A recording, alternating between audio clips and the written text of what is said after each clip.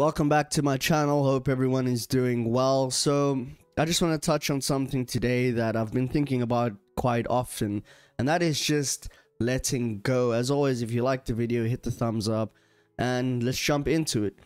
So, this is one of those things that can really make people who don't really understand what's happening, it can make you really think that life is trying to play some trick on you. Because it, in itself, it is very paradoxical. There's this thing that you want, and you really think about it all the time, and you really desire it, and you can't wait to hold it in your hand. But at the same time, in order to get that, you, you have to let go. So it's like, how can I let go of something that I can't stop thinking about? The reason why I say this is why letting go is so important to getting it. So I do these videos called manifestation moments, and essentially, what I've learned through that is how powerful the art of letting go can be. So, how I started even with the manifestation moments was I was trying to work on my muscle of manifestation, and the way I was doing that was if I can do little small manifestations, if I can get small things then I'll be able to build up the confidence and the strength to get the bigger things. So I thought, hey, even if something doesn't seem so important, I'm gonna write it down anyways. So just typical example of the one I did yesterday where I thought about someone honking their horn at me when I was going for a run at a certain place. And then it actually happened on that exact place. Now that doesn't seem that important, but to me, I write it down. Then I have a list of like 20 different things in the week, and they all add up. And from then, it just reiterates the fact that, wow, like, we can actually do this. There's a way to do it correctly, but we can actually do this. And the one thing that I noticed when I was doing all these things is that there's one key factor and that is the letting go part. So because the thing isn't uh, one of my big desires, I will think about the thing. I'll imagine it in my mind. It'll be obviously in the state of the wish fulfilled. It'll be at the end because that's the only place that I'm thinking about and thinking from. And then because it's not something that's important to me, I will let it go. Like it's just a small thought that I've had in my head. It's not something that I'm gonna obsess over. And because of that exact fact, that's the reason it shows up. Most of the time when it shows up, I'm even surprised because it's not something that's been on my mind the whole time. So that's where I saw this. And this is what brings it back to when people say, How can I actually let it go if it's something I really want? When you have acquired that state of the wish fulfilled.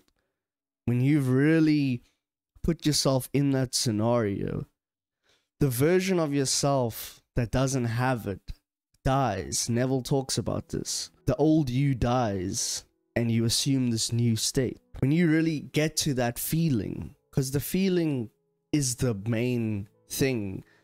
People have different techniques. They have affirmations, they have certain things that they write down all of this, I'm going to tell you right now, all of this is only to bring about the feeling. How would you feel if you had the thing?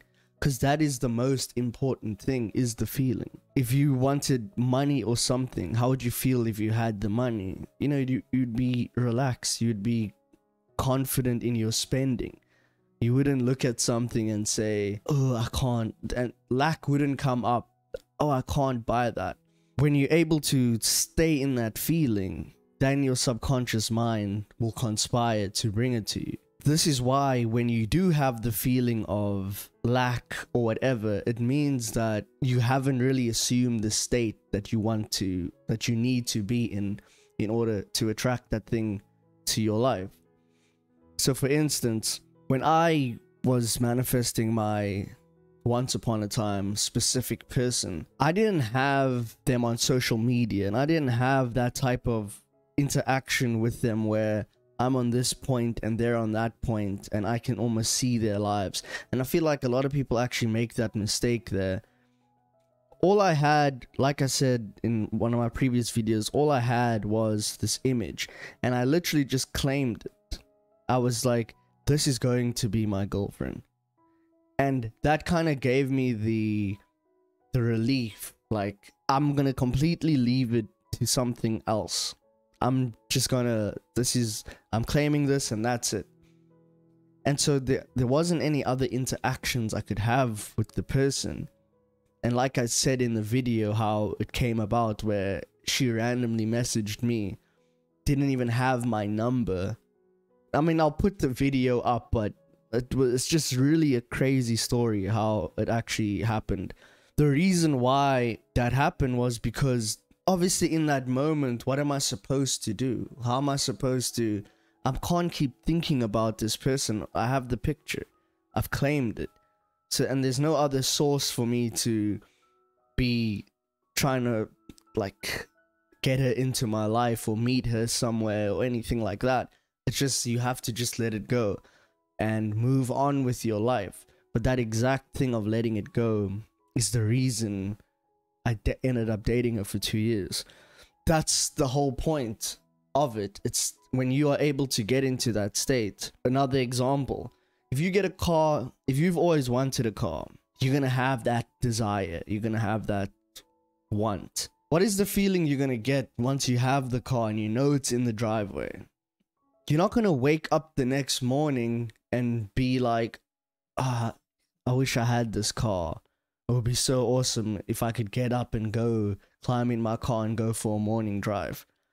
That's not gonna be there. So this is the problem when you have these desires that you want and then you can't let it go. You keep thinking about it the whole time. But all you're doing is creating the feeling, like I said, that is the most important thing, of fear and lack, like you don't have it.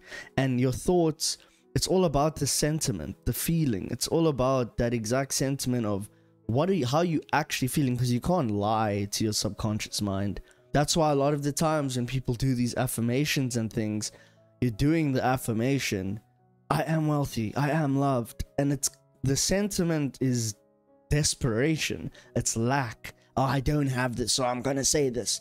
And then you're like, oh, it's not working for me. I'm doing them a thousand times a day. But the sentiment is, I don't have these things. That's that's the feeling. So you've got to think about the feeling. What would the feeling be if I had this thing? It would be gratitude. You'd feel empowered. Man, my car is outside. So good. I'm gonna go for a drive. Because the imagination is the cause. You see, like the 3D world is just the past. I look at the 3D world as just the past. The past thoughts you've had have manifested the 3D moments now. That was an imaginal act of then. So now you have to think about what's going to be your cause now. What are your what is your imagination thinking now that you're going to get then? And so that's why you have to stay within that state because when you get your car, you're not to be like, oh man, I got my car, that's so amazing. And then one o'clock the afternoon, you're to be like, oh, I wish I could get here, but I just don't have the means and the way. You can't serve two masters. You're just to create the lack of not having it and to keep creating that and and that's honestly that's what happens when you when I do my SATs and I do my imaginal act and I really get lost in them, you completely lose that desire for the thing. It's it's very it's weird, but it actually works. You completely lose the desire and you kind of just content. And I think that is one of the best ways of letting go because something triggers in my head where I actually feel like I already have it. And so I'm smiling and I'm walking around like I've already got this thing. The feeling is so overwhelming that it, it burns away all the lack and all the fear of this world. You know, it just completely burns everything away. And so that's and so that's the power of it that's when you know you can truly let go. It's not really about trying to forget about something. It's living in the fact that you already have it. So why would you think about it? So that's just what I had to say about that. Um, I'll do more videos on letting go, but this is just my base idea of it is that once you already feel that you have something, you're not going to be, you're only going to be thinking about it in terms of how grateful you are to have it. Anyways, that's going to be me today. If you like the video, hit that thumbs up, share this with someone who you know has desires and things, but just can't seem to let the seeds that they've planted grow and water them with gratitude. And if you want to see more content like this, subscribe, come hang out. And that's going to be it for me. The old videos I spoke about before this are going to be there, there, and you can just subscribe over here. I'm out. Peace.